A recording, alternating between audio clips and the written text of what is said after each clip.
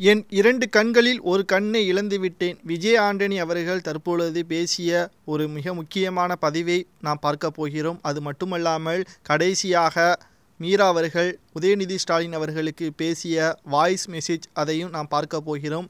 என்ன காரணத்திற்காக தூக்கிட்டு தற்கொலை செய்தார் மீரா என்பதை இந்த வீடியோவில் முழுமையாக நமக்கு கிடைக்கப்பெற்ற ஆதாரங்களின் அடிப்படையில் நாம் இந்த வீடியோவில் முழுமையாக தெள்ள தெளிவாக நாம் பார்க்க போகிறோம். வீடியோவை மட்டும் ஸ்கிப் பண்ணாமல் முழுமையாக பாருங்கள். கிட்டத்தட்ட ஆறு மாதங்களாகவே டிப்ரெஷனில் இருந்த மீரா அவர்கள் அதற்கான மருத்துவமனையிலும் அனுமதிக்கப்பட்டு அவர் சிகிச்சை பெற்றிருந்தார். ஆனால் நேற்று இரவு வழக்கத்திற்கு மாறாக இரவு எட்டு மணி அளவில் உணவு அருந்திவிட்டு அவரது படுக்கை அறைக்கு சென்று விட்டார் எப்பொழுதும் பத்து மணி அளவில் உணவு அருந்தக்கூடிய மீரா அவர்கள் நேற்று இரவு எட்டு மணி அளவில் உணவு அருந்தியது அங்கு உள்ளவர்களுக்கு சந்தேகத்தை ஏற்படுத்தியது.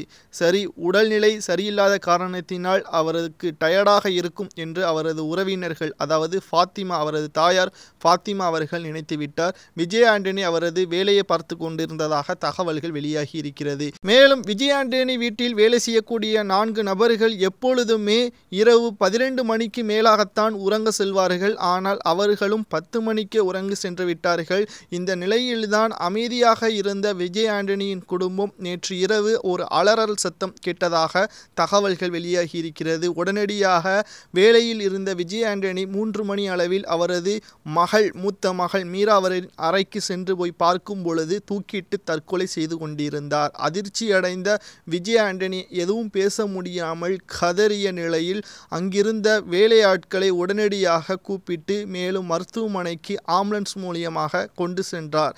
ஆனால் உயிரிழந்து கிட்டத்தட்ட இரண்டு மணி நேரங்கள் ஆகியிருக்கிறது என்று மருத்துவர்கள் கூறியிருந்த நிலையில் பிரேத பரிசோதனைக்காக அவர் அனுப்பப்பட்டார். ஆனால் அங்குதான் விஜய் ஆண்டனி அவர்கள் வீட்டிற்கு செல்லாமல் அவரது மகள் அருகிலேயே இருந்து அழுது கொண்டிருப்பதாக வீடியோ ஆதாரங்களை நாம் பார்த்திருப்போம். மேலும் கடைசியாக விஜய் ஆண்டனி அவர்களுக்கு வாய்ஸ் மெசேஜ் அனுப்பியது எனது தங்கையை நன்றாக பார்த்து கொள்ளுங்கள். என்னை வெறுத்துறாதீங்க அப்பா. அம்மாவை நல்லா பார்த்துக்கோங்க என்று தழுதழுத்த குரலில் மீரா அவர்கள் பேசிய கடைசி வாய்ஸ் மெசேஜ் இதுதான். என்ன காரணத்திற்காக தற்கொலை செய்யக்கூடிய அளவிற்கு பதினேழு வயது பெண்ணிற்கு இந்த கொடுமை நடந்திருக்க கூடாது? தற்பொழுது இருக்கக்கூடிய சமூகம் மிக மிக மோசமான சமூகமாக மாறிக்கொண்டிருக்கிறது.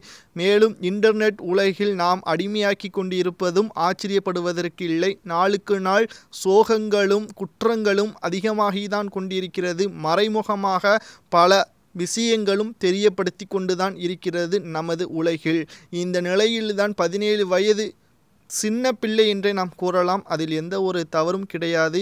தங்கையாக இருக்கக்கூடிய மீரா அவர்களின் உயிரிழப்பு நமதை மிகவும் வருத்தத்தை ஏற்படுத்தி இருக்கிறது விஜய் ஆண்டனி குடும்பத்திற்கு மன ஆறுதலை இறைவன் கொடுக்க வேண்டும்.